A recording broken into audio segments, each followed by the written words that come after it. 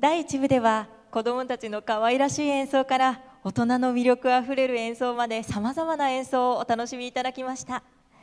それでは第2部最初の演奏は奈良県立医科大学ギター部の皆さんです。コメントをご紹介します。1曲目の「クリスマスイブ」は山下達郎の代表曲でありクリスマスが近づいてくるとテレビやラジオ街中のお店でも聴かない日はないくらい誰もが知っているクリスマスソングの一つだと思います。クラシックギターの演奏を通して街のにぎわいを横目に眺めながら待ち人が来ない主人公の切なさを感じてもらえれば幸いです。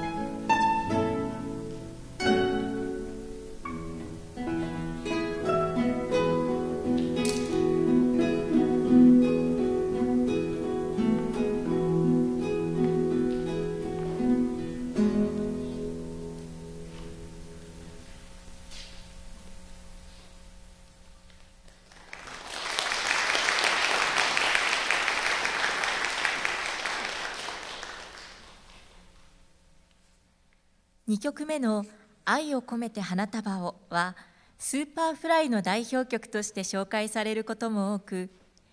テレビや結婚式などで耳にする機会が多いと思います。大切な人に花束を贈ることで気持ちを伝える様子を表現したこの曲をクラシックギターの優しい音色でお楽しみいただければ幸いです。